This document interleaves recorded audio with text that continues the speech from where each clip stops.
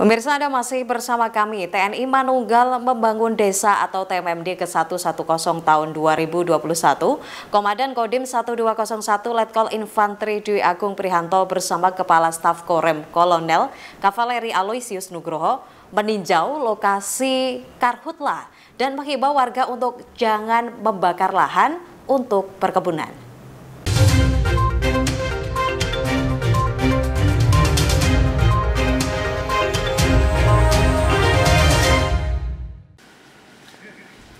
Pelaksanaan TNI Manunggal membangun desa TMMD ke-110 tahun 2021, Komandan Kodim 1201 Letkol Infanteri Dwi Agung Prihanto bersama Kepala Staf Korem Kolonel Kavaleri Aloysius Nugroho meninjau lokasi kebakaran hutan dan lahan seluas 1 hektar di lokasi yang tidak jauh dilaksanakannya TMMD di Desa Tolok.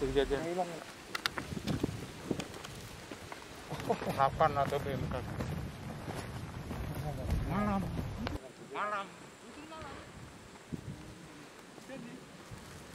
Pada kesempatan ini Dandim 1201 bersama Kasrim 121 memberikan beberapa alat pelindung diri APD kepada salah satu warga dan Satgas Karhutla.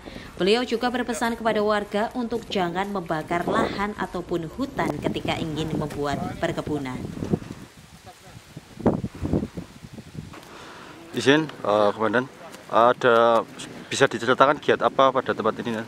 Uh, jadi kita sekalian meninjau lokasi kebakaran lahan yang ada di sekitar uh, Menyuke yang mana ini berdekatan dengan lokasi TMMD yang dilaksanakan oleh Satgas TMMD 110 di dari Desa Tolok.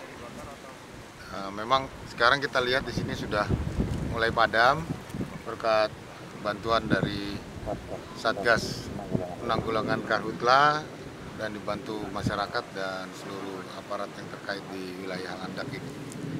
Nah di sini juga saya berpesan mengharapkan agar tidak terjadi lagi seperti ini karena akan berdampak yang kurang baik, terutama untuk kesehatan, terlebih juga lingkungan hidup yang nanti akan menjadi tambah rusak. Uh, bisa diceritakan tadi membagikan apa saja? Itu hmm. bentuk perhatian dari Danrem pada Satgas Karhutla yang telah berjuang untuk segera memadamkan hotspot-hotspot yang berada di wilayah tanggung jawabnya. Itu aja. Siap, terima kasih. Himbauan kepada masyarakat uh, untuk pemberdayaan. Ya tentunya saya uh, atas nama Korem menghimbau kepada seluruh warga masyarakat untuk tidak membakar lahan dalam rangka membuka dan uh, pertaniannya mereka. Sekarang sudah ada aturan baru, ketentuan-ketentuan dari perbub yang baru saja dikeluarkan di Kabupaten Lendak ini.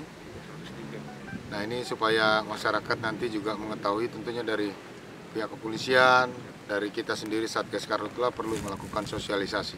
Ini kebakarannya kapan Pak? Uh, tanggal 2 jam 27 kemarin. Posisinya ini di desa apa, Pak? Desa Songga. Desa Songga, Kecamatan? Menyuke. Kecamatan Menyuke ya? Ah, Nanda. Kabupaten Nanda. Ya. Uh, sekitar berapa hektar ini yang terbakar ini, Pak? Satu hektar lah, kurang lebih. Satu hektar ya? Nah. Lahannya lahan apa ini, Pak? Lahan kering. Lahan kering ya? Ya.